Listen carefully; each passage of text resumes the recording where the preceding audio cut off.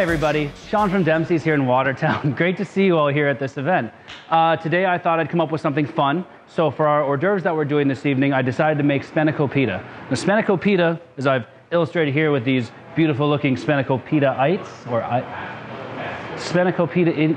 Anyway, spanakopita is your supercharged spinach and artichoke dip in a puff pastry shell, lightly buttered. And then I covered some of them in tahine, uh, and I left some of them bare. But basically how you make this dish is you're taking a puff pastry shell, uh, which is kind of like a sweetened, sweetened bread dough.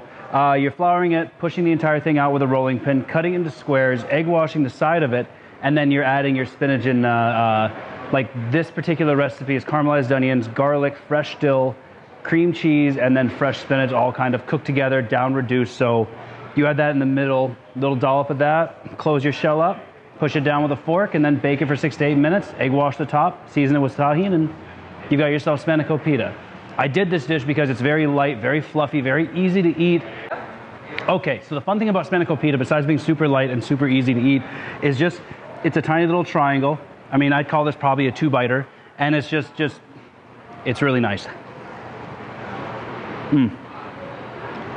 Yeah, I'd say a two-biter. You could really push it three if you really wanted to. Cheers.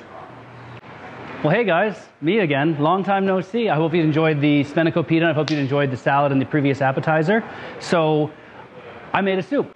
The soup I've made for your next course is called knoephla, and it's actually my head chef's recipe that I tweaked just a little bit. But uh, base is basically the same. It's a good, rich chicken stock. We're using potatoes that were scrubbed and then uh, cubed up, grated carrots, grated onions, uh, a little bit of fresh parsley, a little bit of celery, and the most important part that any Dakota traditional knoephla needs, which is big old dumplings. So uh, you can take a peek. I made a very small batch over here.